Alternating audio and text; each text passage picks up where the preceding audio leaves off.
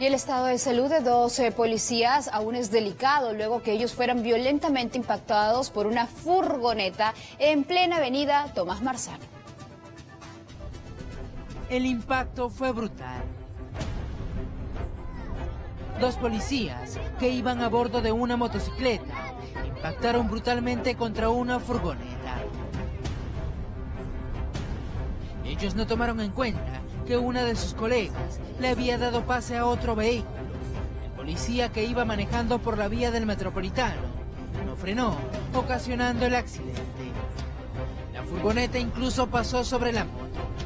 A un lado, los agentes terminaron tendidos en el suelo.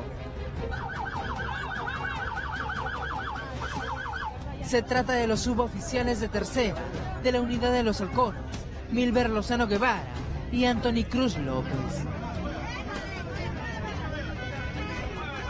El accidente fue ocasionado en el cruce de las avenidas Tupac Amaru con Tomás Valle en Independencia. Los policías fueron trasladados a una clínica local. El estado de ambos es delicado. Mientras que el conductor de la furgoneta, José Abel Inga Espinosa, de 21 años, fue trasladado a la comisaría de Independencia para las investigaciones correspondientes.